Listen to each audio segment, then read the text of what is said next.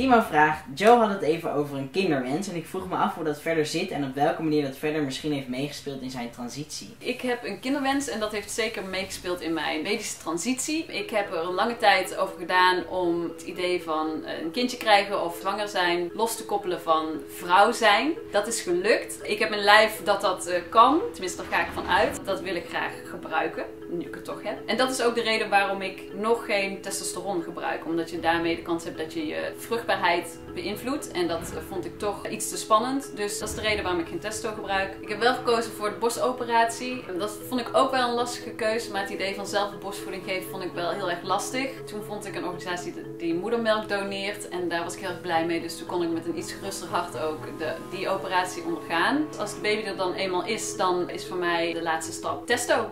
En dan uh, word, ik, uh, word ik een papa met een baard. Heb je nou ook een vraag aan een van ons of aan ons alle drie? Uh, stel ze dan hier in de comments of stuur ons een privéberichtje en dan gaan wij ze voor je antwoorden.